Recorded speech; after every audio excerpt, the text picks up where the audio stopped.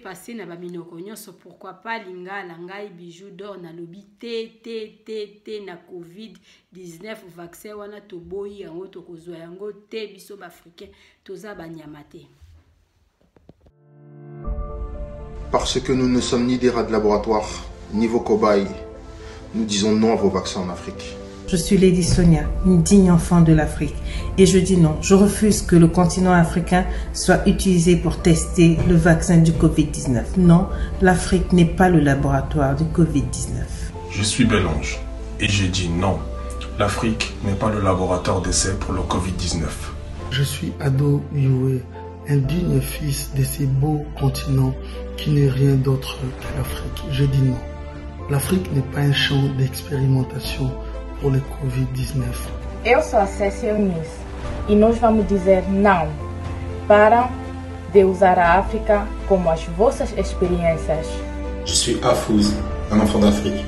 Je refuse que le continent africain devienne un laboratoire de tests Covid. Je suis Marley Yalala et j'ai dit non.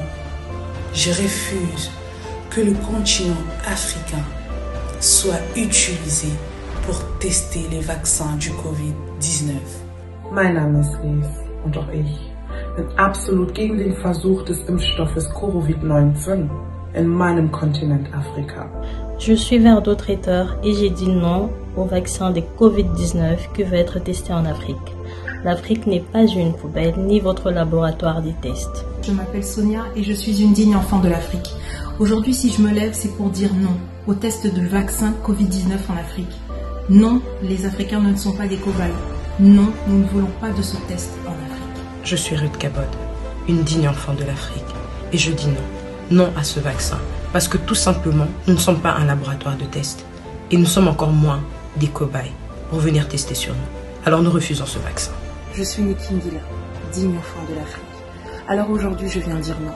Non contre le vaccin du Covid-19 qui s'apprête à être testé en Afrique. L'Afrique n'est pas un laboratoire géant. Alors je dis non. Mais disons non, tous ensemble. Ich bin Whitney. Die Menschen in Afrika sind keine Laborratten, die für Forschungszwecke ausgenutzt werden sollen. Ich bin gegen den Versuch des Impfstoffes in Afrika.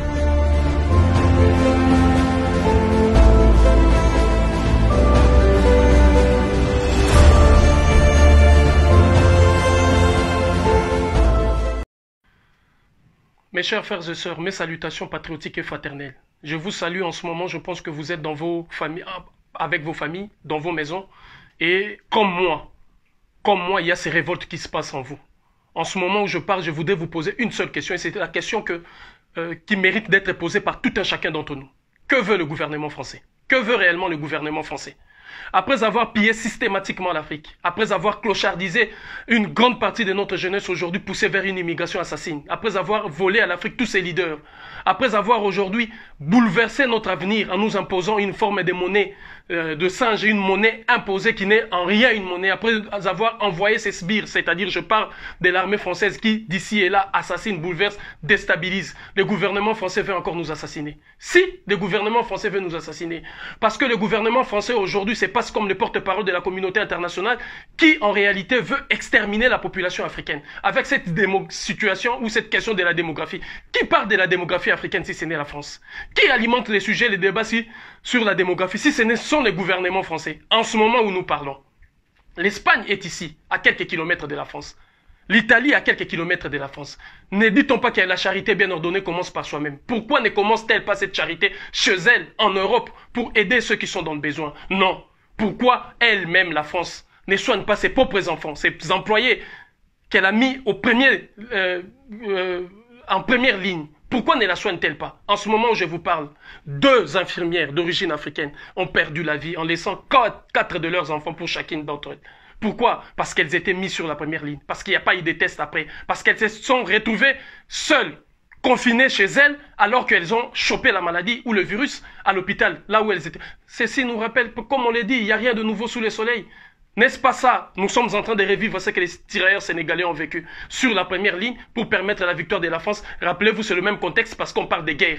La France est en guerre. Et dans cette guerre-là, ce sont les infirmières, les aides-soignants, les aides-soignantes d'origine africaine et noire qui sont mis sur la première ligne. Sans masque de protection, sans gants, sans quoi que ce soit, même pas la possibilité de se faire tester une fois les, services finis. Elles rentrent chez elles et se sacrifient aujourd'hui au nom d'un gouvernement qui demain va effacer même ces héros-là et ces héroïnes de la page de son histoire. Alors, il y a une question aujourd'hui que vous devez tous savoir. Mohamed Ali, Mohamed Ali et aujourd'hui les prédécesseurs qui va nous enseigner tout Mohamed Ali ne disait-il pas qu'il avait refusé autrefois, en faisant appel à l'objection des consciences, refusé de s'engager dans la guerre contre les Vietnam. Aujourd'hui, vous avez à faire un choix historique. Vous avez à faire appel à votre conscience, à votre injonction de conscience pour refuser à chaque fois que la question vous sera posée de choisir entre vos diplômes et la vie, choisissez la vie. Choisissez nos enfants que vous laissez aujourd'hui orphelins. Choisissez vos familles, choisissez vos maris, choisissez vos femmes, choisissez vos soeurs et vos petits frères. Et ne vous sacrifiez pas. Et nous condamnons véritablement cette attitude. Aujourd'hui, j'engage la responsabilité du gouvernement français qui, incapable de soigner ici, incapable de protéger ses infirmiers et infirmières, a la bonne samaritaine qui se tourne maintenant pour aller lancer une campagne de vaccination en Afrique. On veut vacciner en Afrique. Mon cher frère, ma chère sœur, quelle est ta contribution dans ça. Demain, que diras-tu à tes enfants? Chacun de nous doit mettre du sien. Chacun de nous doit appeler ses frères, ses cousins, sa famille, tous ensemble, tous ceux qui sont dans la diaspora, tous les Africains et Africaines de la diaspora, j'en grandis, tous les Noirs, permettez-moi et passez-moi les termes, tout le monde doit appeler le sien pour dire non à la campagne de vaccination. Vous, tous jeunes, jeunes et vieux, barrez la route à ceux-là. Barrez la route à ces expatriés ou ces Européens immigrés qui viennent avec euh, des masques, avec des euh, médicaments. Nous sommes dans un moment aujourd'hui où il faut redéfinir les paradigmes. Vous vous appelez opposant. L'opposition, ce n'est pas simplement l'alternance du pouvoir, l'alternance que vous cherchez pour remplacer celui qui était là. Hein? Les bons necks des services qui étaient là et vous voulez les remplacer. Aujourd'hui, il faut redéfinir c'est quoi l'opposition. Chaque parti d'opposition. Nous en avons aujourd'hui près de 450 partis en République démocratique du Congo. Près de 500 et quelques au Mali. Près de, je ne sais pas moi, des 100, de 300 Bénin partout.